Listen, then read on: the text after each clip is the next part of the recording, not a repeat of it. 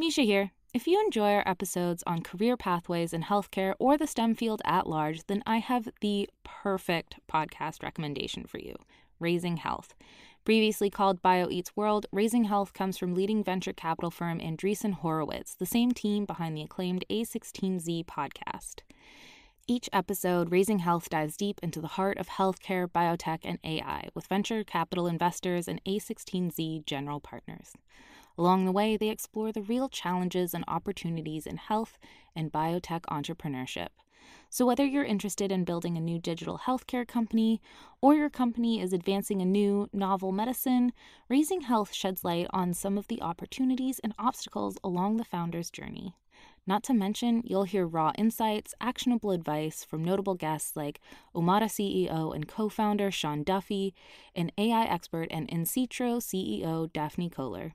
Don't miss out. Follow Raising Health on Apple Podcasts, Spotify, or wherever you get your podcasts and tell them I sent you. A science story, huh?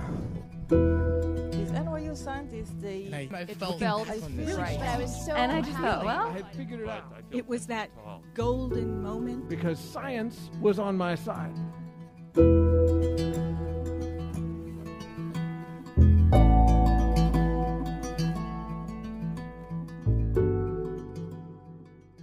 Hey everyone, I'm Ben Lillie, and welcome to the Story Collider, where we bring you true personal stories about science. This week's story is from John Dimandja. It was recorded in March 2015 at the New American Shakespeare Tavern in Atlanta, Georgia, as part of the Atlanta Science Festival.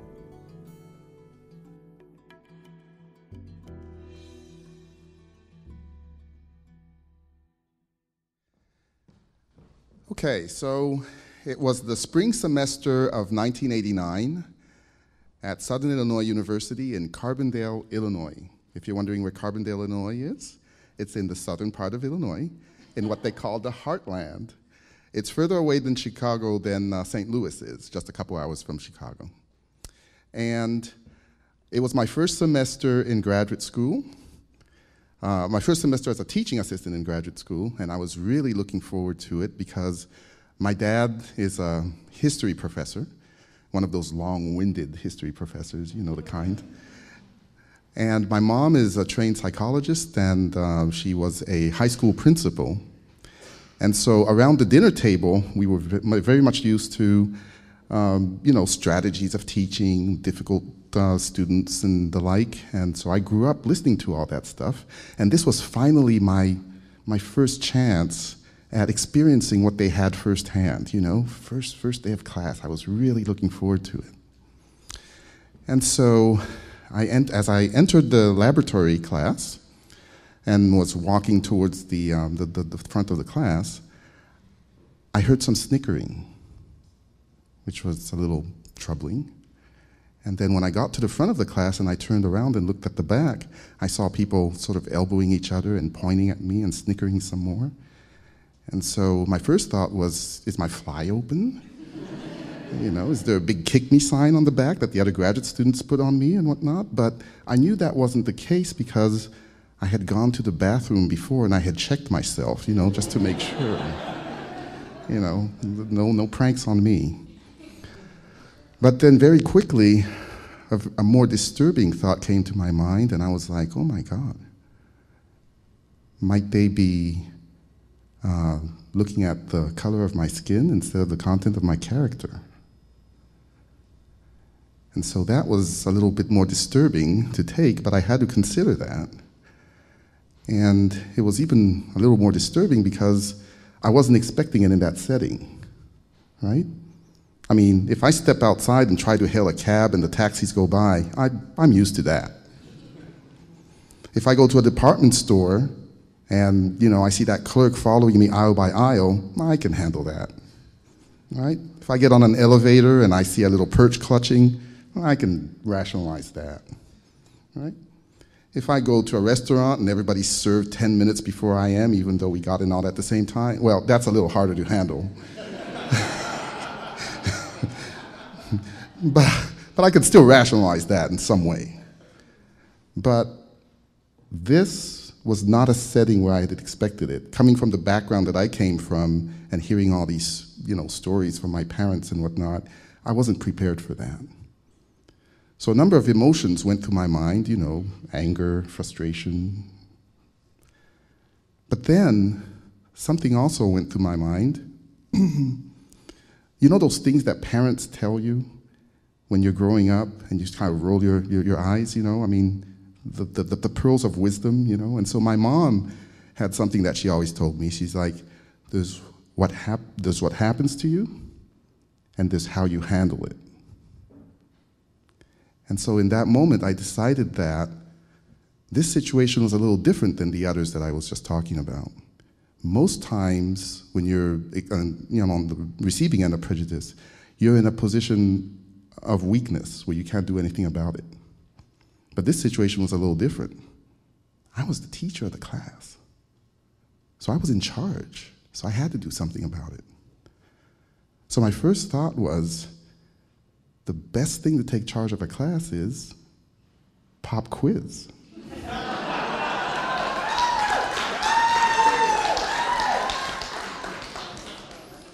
I'll, I'll, take control of this class, all right. So, what I did, remember, this is 1989, so chalk, blackboard, right? So, I had time to think about the questions I was going to ask. So, the first two questions were you know, one was a stoichiometry problem, and another one was a math problem. arithmetic. You know, you want to check, spot check what you, the levels uh, your students are at. But the third one was a little oddball that I threw in there. So the third question was, what is your favorite song? And what I decided is music is the interna- an international language that we all speak. So I decided that that was going to be a way that I was going to try to reach out, my first reach out to the students. And so the students, um, you know, completed their assignments, and I went over the syllabus, and I could already see that some from the smiles of some of the students that they appreciated the icebreaker effort, right? So that was good. And we went through the syllabus and the normal things that you do on the first day of class. And uh, but you understand that I was relieved when class was over. And throughout the rest of the day, I was trying to distract myself with, you know, talking to the other graduate students, looking on working in the lab and whatnot. But when I got home, of course, the flood of emotions came back because I was alone. And I tried to look at the pros and cons of the situation. And, well, we want to talk about the cons first. So, uh, the, the, the major problem that I had was I couldn't talk to anybody about it. Who was I going to talk to? My advisors? My fellow students? I was the only one that looked like me in the department. So who could I who could relate to what I had just gone through? Right? But on the plus side was the fact that I knew that the subject matter, chemistry, was not going to be the problem. I had a passion of chemistry and I had done enough at that time already that I knew that that wasn't going to be the problem. And as the son of two teachers, I was going to do my level best to teach it in a way that was going to be entertaining and meaningful and whatnot. So I could put that aside because I knew that that wasn't going to be an issue. The other thing that I decided was that I was going to forge an individual relationship with all the, all the students in the class. Now, if I was teaching a class of 150, that would be a, a, a big, little bit more of a problem because of the class size. But this was a lab class, so it was 28 students. So I decided to reach out. And then another plus was that I had a week in between classes, so I had a lot of time to recover if I needed to, right? So, what I did at the, the next week for class is I got there and I gave a pop quiz right away. But I showed up also with a boombox, uh, which, as I entered the classroom, kind of raised a few eyebrows in the classroom and whatnot. So, after I went through the um, assignment of the day, as is typically done in those classes, you know, safety concerns and whatnot. We started the lab, and I went to the corner of the lab, put a cassette tape in the boombox, and, and it started playing. And the music, the first song, was the anthem from Journey, Don't Stop Believing. And this was the 80s, so this was a song that was very popular. And the students looked up at me and were surprised that that was the first song. And I said, Remember your answer to the third question? Well, I'm such a music buff that I have all these songs at home, and I made a tape of all your favorite songs. And that's going to be the soundtrack to what, to, to what we work with today. And so that got a few smiles in the class. They liked that. And so as we kept working and the, the, uh, the, the, you know, the hours went along in the lab, somebody finally asked me, well, what's your favorite song? And I said, Let It Be by the Beatles. And that surprised them too. But for me, it was normal. I was a big Beatles buff, you know, growing up in the 60s and whatnot. So, but it was still interesting to see the look of surprise on them. But, anyways, from that point, that was the beginning of individual conversations, right? Because for every piece of music I had, all the trivia, you know, I was big on trivia and history, right? My dad, history professor, you know. And so we started conversations that started with music, but then it went into sports and recipes and, you know, cooking recipes and whatnot.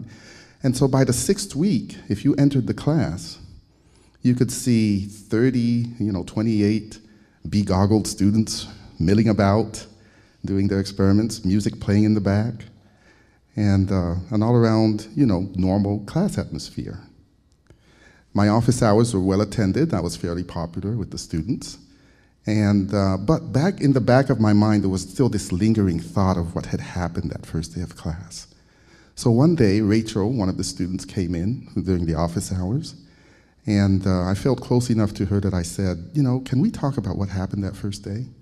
And she said, Sure, sure, sure. We've talked about it amongst cl- our, our classmates and whatnot. And so the reason why we reacted to you this way is because we just didn't know what to expect from you.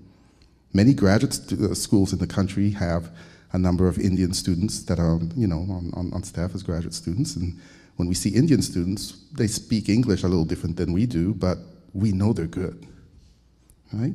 There are a lot of Asian students in these graduate schools, and we don't hear as well, you know, we don't, we don't, uh, can't, can't follow them as well, but we know they're good.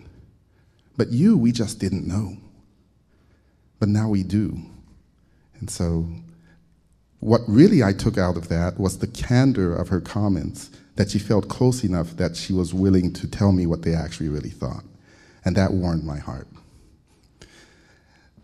The day of the last class, Sean, another student, said, I want to take a class picture.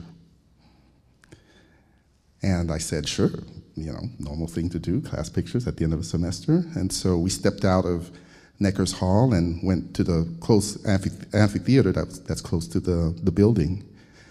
And I couldn't help but smile because as the folks were getting ready to take pictures, you could see several students jockeying position to be close to me. And in my mind, I couldn't help but juxtapose that snapshot in time with the snapshot from the first day. And that was really a nice feeling of how far we had come and what we had accomplished together. And so Sean eventually gave me a picture of the, um, of the class, uh, the class picture, which I kept on my desk for every semester I was there at Southern Illinois. And before the first day of every class, I would look at it for inspiration. And I needed it because the first day of class never changed except that now I was ready for it. And I had a plan before entering class. And as I told you, this will happen in 1989. A lot of years have passed since then, and I have done conferences all over the world China, Brazil, South Africa. And I'm used to the feeling of going in knowing that if you're good enough, you don't have to worry about it, the rest will take care of itself. And so I don't need that picture anymore. Thank you.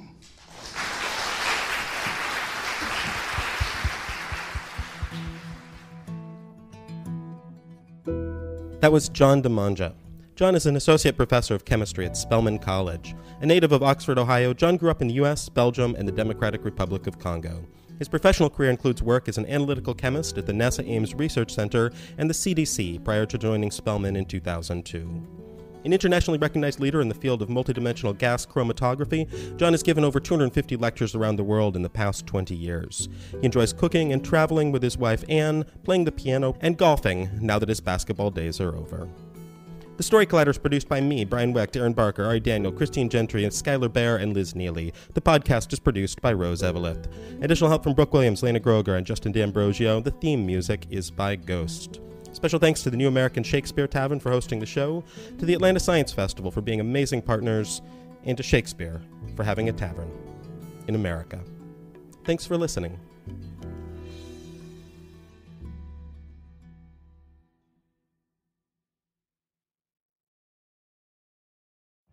Every day, we rise, challenging ourselves to work for what we believe in. At U.S. Border Patrol, protecting our borders is more than a job, it's a calling. Agents answer the call, working together to keep our country and communities safe. If you're ready for a new mission, join U.S. Border Patrol and go beyond. Learn more at cbp.gov/careers.